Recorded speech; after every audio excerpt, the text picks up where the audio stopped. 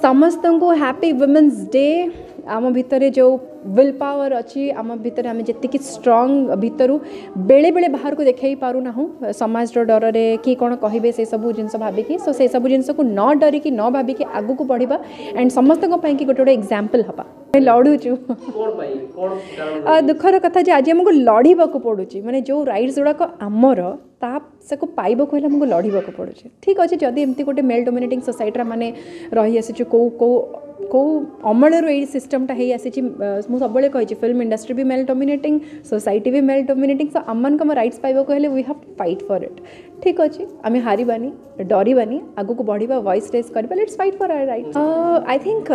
main reason ହେଉଛି ଆଜିର ଦିନରେ ମାଇଣ୍ଡସେଟ୍ ଲୋକମାନଙ୍କ ଭିତରେ ଟିକେ ଚେଞ୍ଜ ହେଇନାହିଁ ଦେ ଷ୍ଟିଲ୍ ଥିଙ୍କ କି ୱିମେନ୍ ମାନେ ପଛରେ ଅଛନ୍ତି यही थरकर जमी थीम रही है it's all about gender equality आम जमी छोट बड़े